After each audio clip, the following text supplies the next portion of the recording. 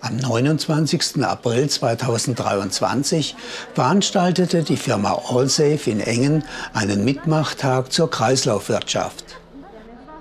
Es geht dort speziell darum, jetzt nicht äh, das Unternehmen Allsafe in den Vordergrund zu stellen, sondern einfach nur die, äh, eine Plattform zu bieten, bei der wir eben unterschiedliche Akteure in dem Thema Wiederbenutzung von Dingen auf den Plan rufen können. Und ähm, dazu äh, eben dieser Tag heute.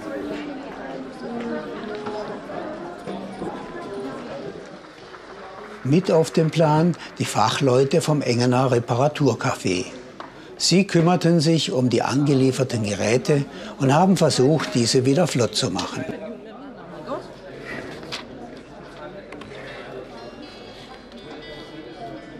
Ja, das ist so ein Winkelschleifer, der den Geist aufgegeben hat. Und, äh, ich habe jetzt gerade mal gemessen und mal geguckt, ob ich da finde, wo die Ursache liegt. Die Firma Allsafe legt selbst großen Wert auf ressourcenschonende Verwendung von Rohstoffen und bietet einen eigenen Reparaturdienst für ihre Produkte.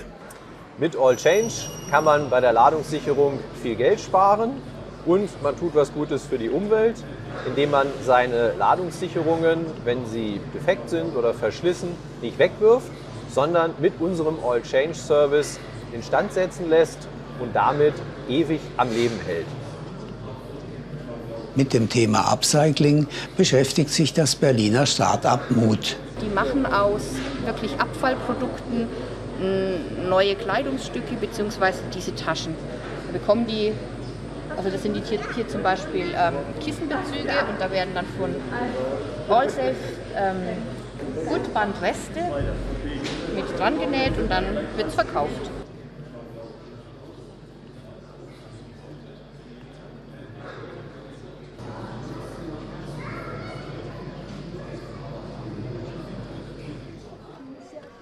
Flohmärkte sind und waren schon immer Orte, an denen gebrauchte Dinge eine zweite Chance erhielten.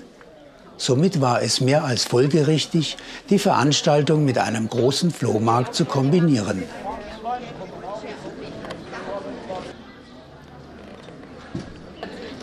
So, Offroad mit dem eine Kelly da noch die Der Gegend John, Ende. John ja, Kelly. Marathon, ja.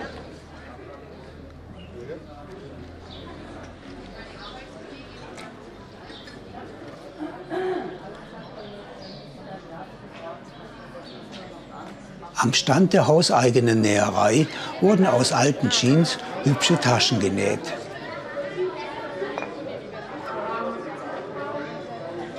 Kleine Täschle, also mit alten Jeans, Mama alte so kleine Täschle für die Mädels. Und dann machen wir halt die Mädels ein bisschen glücklich.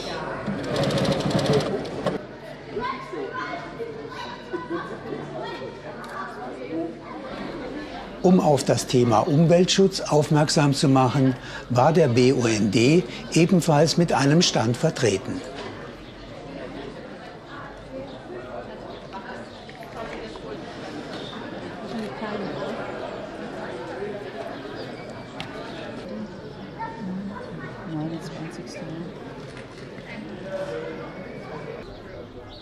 Selbst der Müllabfuhrzweckverband Rillersingen war mit einem Fahrzeug vertreten und informierte über seine Aufgaben.